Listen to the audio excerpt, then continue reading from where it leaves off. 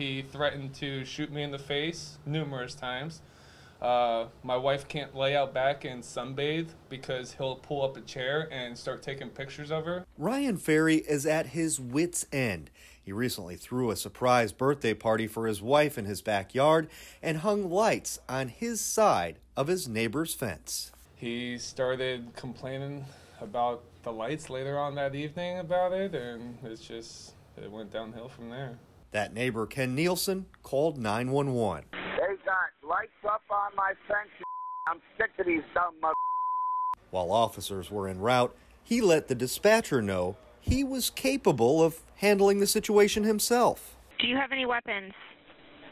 I got a ton of f***ing weapons. I got f***ing hand grenades. I'll blow them out of the ground. This is video of Nielsen entering the county jail. He's now facing a charge of threatening to discharge a destructive device after making those statements on a recorded call. He has since bonded out of jail, but no one answered the door at his home. Eight on Your Side discovered in 2016 police arrested Nielsen for assaulting another neighbor because he was running a pressure washer while Nielsen was trying to watch the Olympics.